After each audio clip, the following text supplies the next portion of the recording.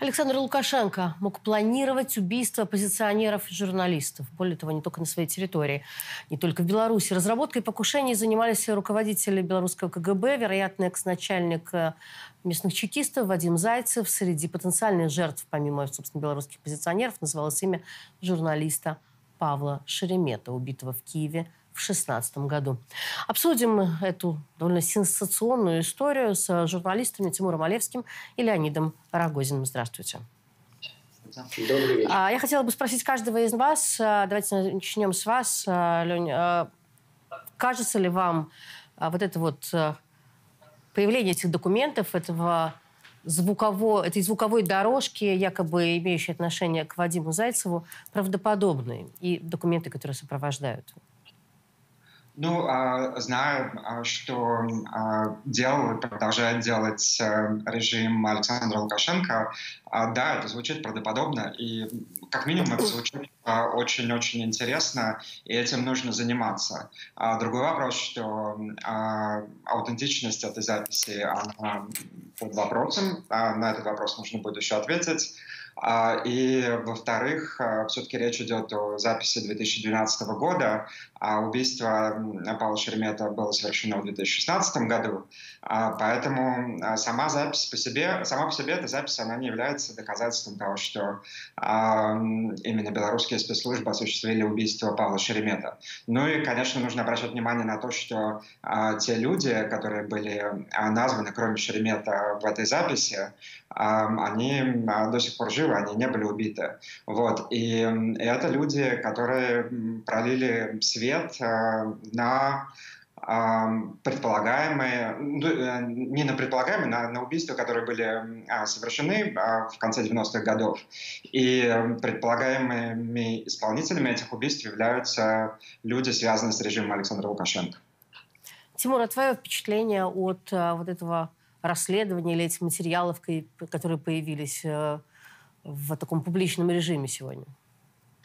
Э, ну, тут с Леонидом можно только согласиться, но есть еще одно обстоятельство важное. Вот буквально минуту назад, буквально до того, как я в эфир включился, я увидел на инсайдере очень подробный разговор с одним из фигурантов этого списка, э, про которого говорят э, на пленке, что его могут убить. Это Олег Алкаев – человек, который возглавлял белорусский сезон номер один, сам он был руководителем расстрельной команды, приводил в исполнение э, приговоры о смертной казни в Беларуси, потом уехал, стал диссидентом и рассказывал всему миру об э, убийстве политических оппонентов Александра Лукашенко. Он написал с Павлом Шереметом книгу, которая называется «Расстрельная команда», и в момент, когда Шеремета убили, он готовил вместе с ним вторую книгу, э, переиздание первой и вторую, где бы еще больше об этом было и более подробно рассказано, в том числе об убийстве экс-премьера Гончара, человека, который Лукашенко к власти привел и который после этого погиб э, при неизвестных обстоятельствах.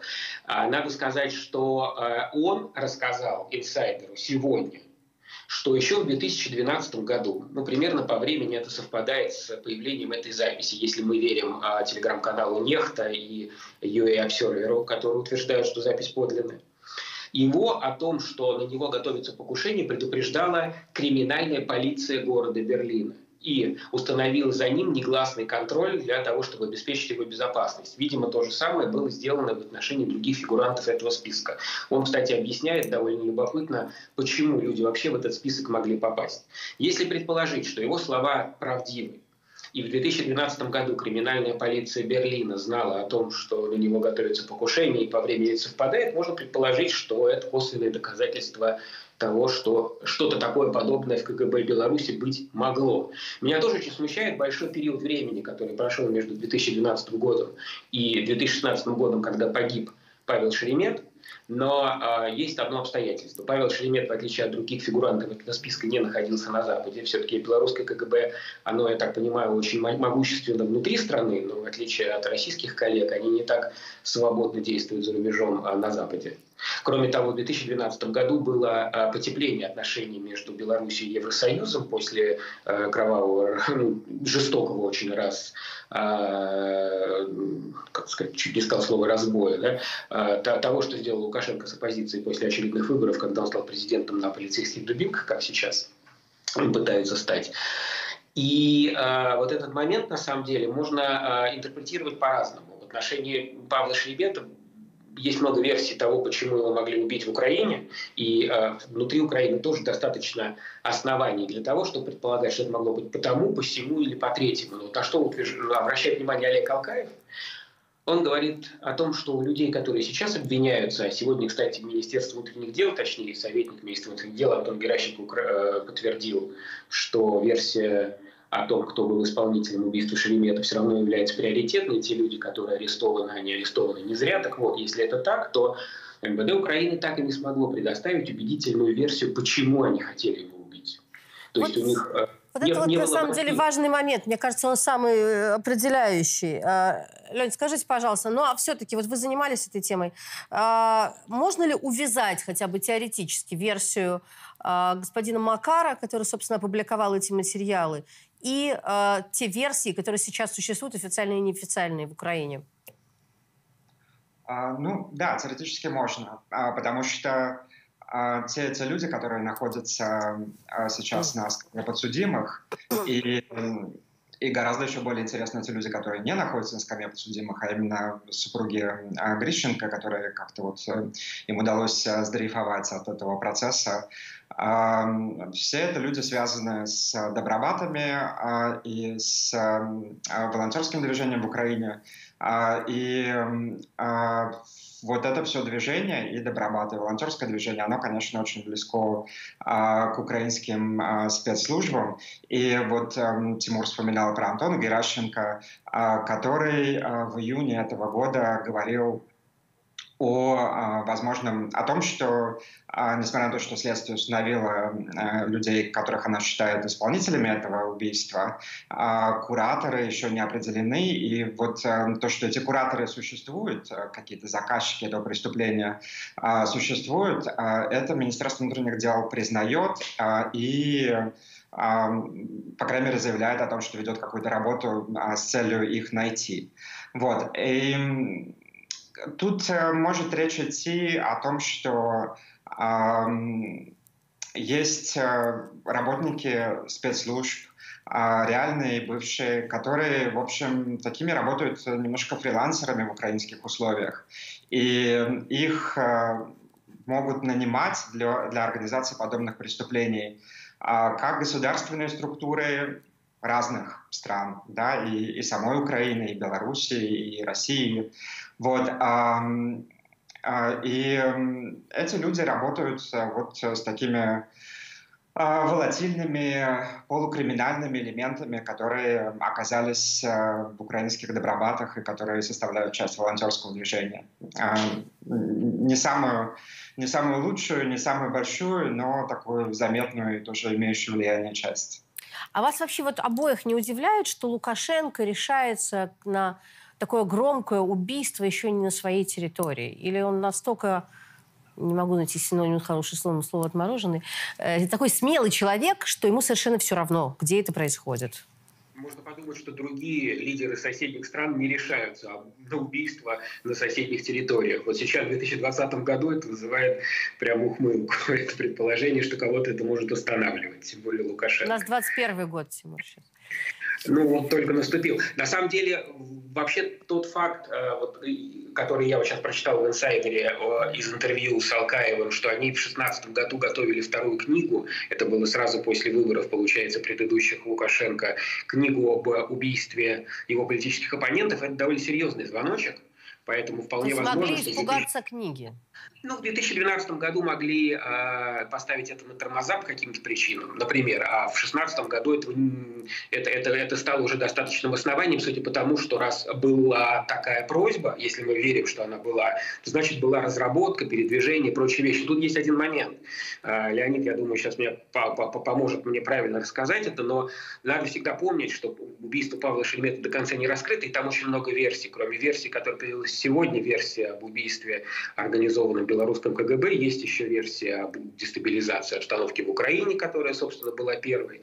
Потом была версия о том, что а, может быть э, причастен к этому а, фактически владелец в тот момент радиовести, бывший министр налогов и сборов Клименко, который находился в России, или еще другие версии, вплоть до того, что а, белорусские же националисты, сбежавшие в Украину, там повоевавшие за Украину и ставшие частью националистического движения, могли к этому быть причастны.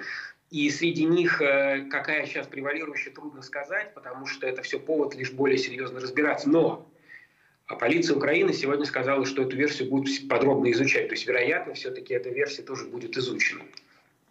Ну да, есть ощущение, что э, белору- белорусской стороне действительно как бы есть за что, по их ощущениям. А, Лен, скажите, пожалуйста, ну а как вы думаете, все-таки Зеленский заинтересован в том, чтобы раскрутить эту версию и довести ее до какого-то ясного финала, вообще завершить это расследование э, гибели Павла Шеремета? Я думаю, что для Зеленского это такое бремя, с которым он э, точно не знает, как справиться. И а, я могу быть неправ, но у меня, конечно, есть такое очень сильное ощущение, что для украинского руководства а, вопрос о том, кто убил Павла Шеремета, является таким секретом Полишинеля. А, об этом все знают, но или, во всяком случае, руководящие лица знают, но считают это крайне невыгодным. Может быть, для страны, может быть, для них самих об этом говорить. И, и тут и тут как раз вот белорусский след в этой связи эм, у меня вызывает вопросы, а, потому что ну, если, если это сделали белорусы, то а, для украинского руководства это же очень комфортабельная ситуация.